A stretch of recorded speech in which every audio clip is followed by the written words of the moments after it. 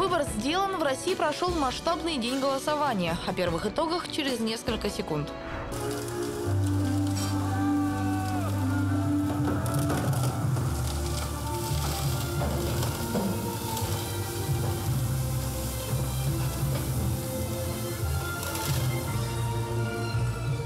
Флот ненецких рыбаков впервые за 20 лет пополнился современным судном. На судоверфи в Стамбуле спущен на воду траулер «Печора». Вот новые будут. Будут красивые. Вот там цыплятки, сейчас их можно подснимать даже маленькие. Они, правда, сегодня уже такие оперяться начали, а вчера-то они еще желтенькие были. Они же растут очень быстро. В Наринмаре подведены итоги конкурса по предоставлению грантов на создание собственного бизнеса. В гостях у начинающих предпринимателей побывала наша съемочная группа. В новом облике в поселке Искателей продолжается благоустройство дворов и улиц. Наши корреспонденты выяснили, на что именно потрачено 15 миллионов рублей. Финишная прямая очередной недели. Время подвести черту и вспомнить самые яркие события минувших семи дней. На телеканале «Север» программа «Итоги недели» в студии Алина Волчейская. Здравствуйте. 13 сентября в России прошел масштабный день голосования. Первые участки открылись еще в 23 часа по московскому времени в Камчатском крае и Чукотском автономном округе. Единый день голосования охватил 83 субъекта Российской Федерации. Выборы 2015 уже назвали уникальными по своему масштабу. Они включают в себя около 10 тысяч избирательных кампаний и охватили свыше 59 миллионов избирателей. Всего в стране работали более 57 тысяч избирательных участков. В 21 субъекте Федерации выбрали глав регионов. В единый день голосования определены новые составы 11 региональных парламентов и депутаты 23 административных центров. Состоялось большое количество муниципальных выборов. В выборах различного уровня принимают участие кандидаты от 49 партий. Таким образом, избирательная кампания прошла, как говорят в Центр избиркоме, с высокой конкурентностью, причем возрастающей год от года. Напомню, выборы прошли в 83 субъектах Российской Федерации. Участие в них не принимали только Кабардино-Балкарская республика и Республика Северная Осетия. В единый день голосования на территории Ненецкого округа работал 51 избирательный участок. Жители округа приняли участие в выборах губернатора Архангельской области. В Наринмаре прошли также дополнительные выборы двух депутатов в городской совет по портовому и центральному избирательным округам. Жители Великовисочного и Телевисочного сельсоветов избирали новых глав муниципальных образований. Тельвещане также выбрали депутатов поселковый совет по многомандатному округу номер один – в 20.00 по московскому времени избирательные участки закрыли свои двери. Начался подсчет голосов. Я думаю, что точный результат мы будем э, по округу подписывать, э, наверное, где-то во второй половине дня, так как на 14 сентября назначено итоговое заседание, а 15 числа уже Георгий Александрович все данные доставит в избирательную комиссию Архангельской области. Угу. Вот, то есть предварительные данные, они будут известны в течение трех дней. Uh Вот, так, а дальше по законодательству у нас есть срок, когда в течение месяца мы должны уже итоговые данные, общий результат в Архангельской области сообщить. Uh Вот, ну и по муниципальному образованию также точно они подводят э, также вечернее время до утра следующего дня, оглашают эти результаты и на своем заседании утверждают итоги голосования. За ходом голосования в течение всего дня пристально наблюдали и мои коллеги. Нам удалось побывать практически на всех избирательных участках, расположенных в Наринмаре и поселке Искателей. Явка везде разная, впрочем, говорить о конкретных цифрах пока еще рано. Окончательная статистика появится не раньше, чем через несколько часов. Но уже ясно, жители региона голосовали охотно. На некоторых участках выстраивалась даже очередь, а самые нетерпеливые избиратели сделали свой выбор буквально на первой минуте после официального старта единого дня голосования. Репортаж Олега Хатанзейского. Избирательные участки свои двери распахнули ровно в 8 утра, а уже через минуту появились первые желающие проголосовать. И это несмотря на выходной день. Да я всегда рада стою, вот почему рада не прийти. Я еще поздновато пришла, все ждала, когда э, начнут сюда приходить. Я потом в окошко смотрю, что все идут, и я тоже пришла. Самый большой поток избирателей наблюдался, пожалуй, на двух участках, 47-м и 48-м. Там, помимо губернатора Архангельской области, выбирали и депутатов в городской совет по двум округам. Всего 15 кандидатур, чуть ли не рекордное количество. Они тоже принимали участие в голосовании, а затем пристально наблюдали за прозрачностью выборов, делали ставки, переживали, верили. Выборы важны, потому что мы выбираем власть, которая потом принимает соответствующее решение, которые связаны с нашей последующей жизнью. Это связано также с нашей гражданской позицией. Пожелаю удачи всем, кто сегодня а, участвовать в выборах. Желаю всем кандидатам хорошей явки. Поэтому все покажет конец дня. Хотелось бы, чтобы как можно больше народ, народу проявило свою э, гражданскую активную позицию. И как можно больше народу пришло и сделало свой выбор. Независимые наблюдатели и огромный полк журналистов. Максимум усилий было направлено на то, чтобы обеспечить прозрачность процесса голосования и исключить возможность фальсификации. Получилось. Выборы прошли спокойно, ни одного замечания. Это отметил и глава субъекта Игорь Кошин, когда лично посетил один из участков и оставил там свой голос. В последнее время выборы приобретают цивилизованный характер. Ровно проходит избирательная кампания, практически нет жалоб, практически нет нарушений нет скандалов, э, знаете, это так называемого черного пиара. Это говорит о том, что это говорит об уровне развития страны в целом. И, ну а в нашем случае об уровне развития округа. Избиратели на месте имели возможность ознакомиться с теми, за кого им предстоит проголосовать. Большие стенды с фотографиями и краткой биографией кандидатов стояли перед входом на участки. Ну а дальше все по стандарту. Человеку вручали бюллетени, с ними он направлялся в специальную кабинку. Буду ждать вечера, кто выиграет. Свой гражданский долг выполнили и депутаты окружного собрания. На участках они побывали еще в первой половине дня. Сделав выбор, делились впечатлениями. Я уверен, что каждый кандидат, а их сегодня действительно достаточно много, каждый кандидат уверен, что он сегодня победит. Это, наверное, неплохо, а, уверен в своих силах, и это создает определенную конкуренцию. И люди по крайней мере, сегодня у людей есть выбор. Я думаю, что э, избиратели округа правильно ценят ситуацию, связанную с отношением с Архангельской областью. Это важные выборы. Настроение всегда должно быть хорошим. Поэтому я призываю всех э, э, свой гражданский долг выполнить, прийти на выборы, показать высокую явку. И я считаю, что это будет просто правильно. У нас, наверное, впервые зарегистрировалось э, такое количество кандидатов на мандат э, депутата городского совета. Это радует, поскольку у нас пошла молодежь, у нас присутствует вот в кандидатах э, самые различные специальности. Возраст молодые пошли ребята. И, что приятно, и по квалификации тоже, начиная от предпринимателей до чиновников. А вот законотворец Андрей Ружников на выборы попал, что называется, с корабля на бал. Депутат только сегодня вернулся с отпуска и сразу же отправился на избирательный участок. Он уверен, изменить судьбу тысяч способен даже один единственный голос.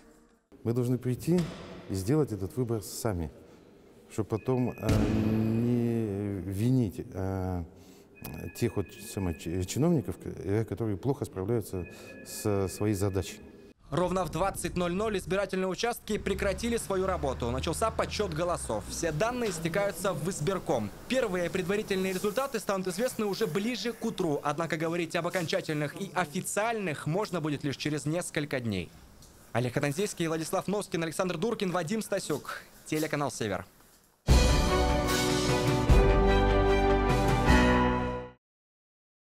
И теперь к другим важным событиям. 8 сентября в Турции спустили на воду новый рыболовецкий траулер, предназначенный для российских рыбаков. Современное судно построено по заказу ненецких рыболовецких колхозов и предназначено для работы в северных широтах. Оно позволит добывать в три раза больше трески и пикши, чем старые траулеры, спроектированные еще в 50-х годах прошлого века. А новые технологии практически полностью автоматизируют его работу. Из Стамбула репортаж Владимира Томилова. Этого события ненецкие рыбаки ждали больше 20 лет. Посмотреть, как воплощается мечта в жизнь, в Стамбул, где расположилась одна из крупнейших судостроительных компаний Турции, приехали представители всех семи рыболовецких колхозов Ненецкого округа. Они не скрывают радости, ведь поверить происходящее сложно. Судно совершенно нового поколения скоро попадет в распоряжение рыбаков. Это другой уровень, другие технологии, качество труда и в то же время новый пароход. Это мощные двигатели, работа на больших глубинах. Э, ну, типа самое современное, хорошее промысловое судно. Разработкой проекта занимались норвежские проектировщики, известные во всем мире своими наработками в рыболовецкой отрасли. Главная задача – создать мощный траулер, отвечающий всем стандартам и при этом способный вести промысел в суровых водах арктических морей. Воплотить их идею в жизнь принялись турецкие судостроители, славящиеся применением новейших технологий. Они позволяют качественно и в сжатые сроки возводить корабли. Чтобы собрать этот траулер, им потребовалось всего 8 месяцев. Marine Это не только рыболовецкий траулер, это еще и рыбоперерабатывающая фабрика. Мы не только выполнили требования Российского регистра судоходства, но и Российской санитарной инспекции. Мы надеемся, что будем выполнять строительство судов также и для Атлантического и Тихоокеанского флота.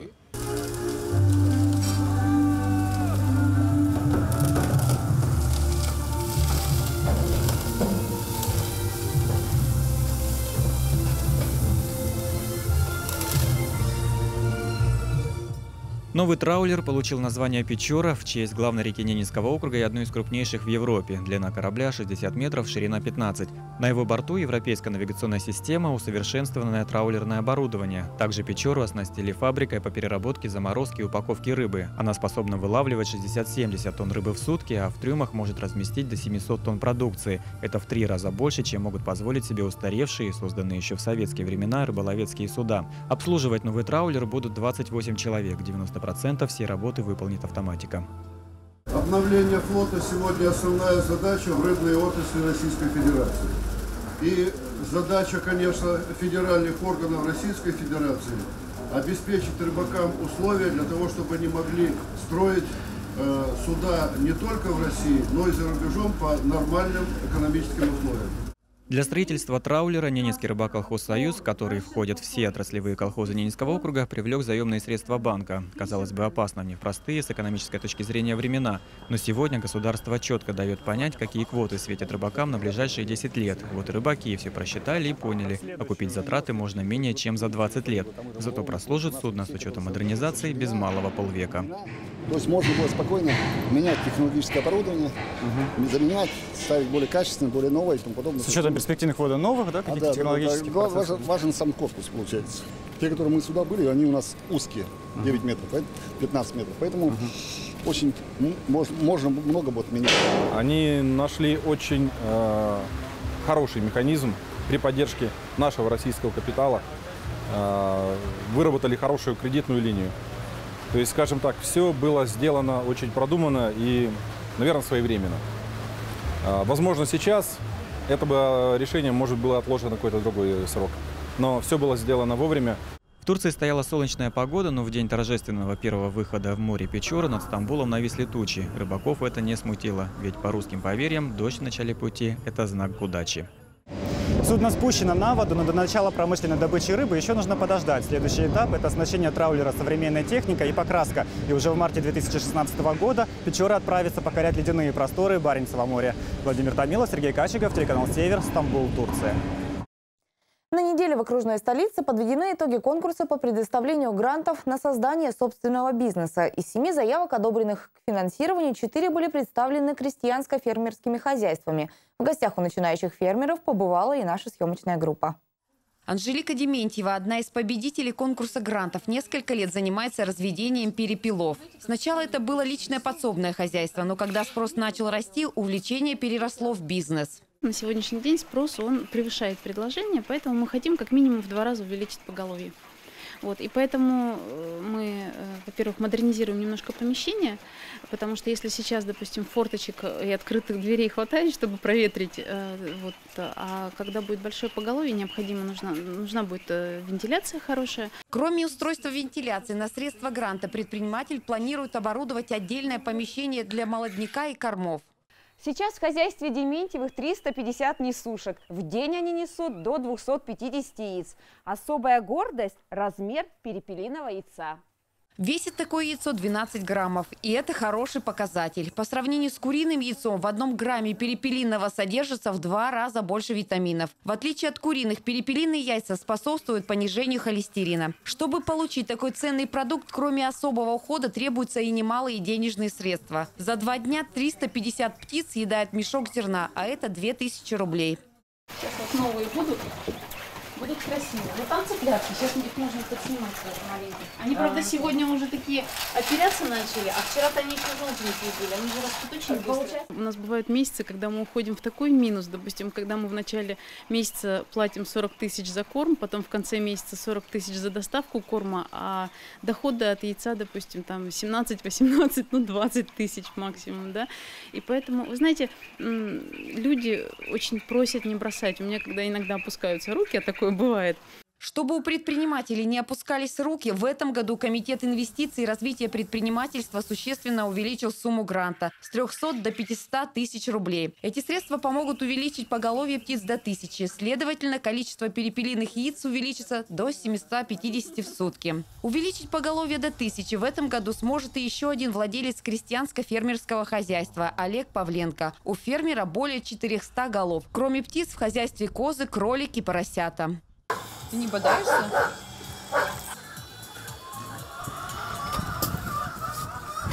Домой, домой, домой, домой, домой, домой. Домой, домой, домой, домой, домой, домой. Молодец. Дружелюбному козлику Кубику и свинке Нюше, как и ее соседям, очень тесно в небольших загонах. А сейчас с наступлением осени еще и очень холодно. В первую очередь мы хотим часть э, небольшую потратить на постройку вот второго здания. Ну и то уже так думаю, может одно большое сделаем, посмотрим. То есть нам нужно побыстрее сделать, чтобы, ну, как говорится, до снега. Потому что уже, ну, реально так прохладно. Мы печку добавили, уже внутри там тоже подтапливаем. Вот. И хорошо, что вот как бы эти деньги гранта. Большое спасибо, что, так сказать, не бросили нас, а помогли. В этом году Комитет инвестиций и развития предпринимательства поддержал 7 бизнес-проектов. Среди победителей 7 крестьянско-фермерских хозяйств. Искатели преображаются. Порядка 15 миллионов рублей в этом году потрачено на благоустройство поселка геологов. 10 миллионов выделил Заполярный район, остальные из муниципальной казны. Для удобства жителей обустроены придворовые территории, построены тротуары и детские городки. Что уже сделано и что еще предстоит сделать, узнала Алена Валей. С каждым годом территория около моста Дружбы или Любви, как его называют в народе, преображается. Уже отсыпаны дорожки около проезжей части, установлено освещение. Сейчас на очереди обустройство площади около свадебного дерева. Идет благоустройство, тоже будет благоустройство, будет уложена брусчатка, э, подъезд будет автостоянка вот в этом месте стоять. На, данный момент ведутся бетонные подготовительные работы. И э, я думаю, что в ближайшие дни уже начнем подготовку к кладке брусчатки. В следующем году уложат бетонные плиты и сделают дорогу от моста до поселка Искателей. Но на этом работы по благоустройству не закончатся. В планах построить парк отдыха на Захребетной Курье, где можно будет провести время на свежем воздухе. Проект предусматривает детскую огромную площадку, там и типа детского кафе, вот, э, разные мангалы, чтобы люди могли, там беседки, ну, там, приходить сюда и отдыхать просто такое хорошее время. До открытия парка отдыха еще далеко, а вот на улице Монтажников работы почти завершены. Здесь для детей выстроен новый детский городок. Все оборудование и прорезиненное покрытие соответствуют необходимым стандартам. В ближайшее время здесь же установят спортивную площадку. И останется дело за малым – озеленением. Также высадка газонов предстоит и на другом объекте – площадке перед поселковой администрацией. Возле администрации мы в том году начинали ну, недобросовестные подрядчики были в этом году, э, сделали благоустройство, и площадки, и стоянки. Сейчас проводится озеленение. Ну, я думаю, что где-то на следующей неделе его закончат. Э, там работы будут завершены. Ну, плюс там еще кустарник, где-то порядка 40 кустарников надо посадить. Ну, э, местные, местные, так сказать, растения, которые приживаются хорошо.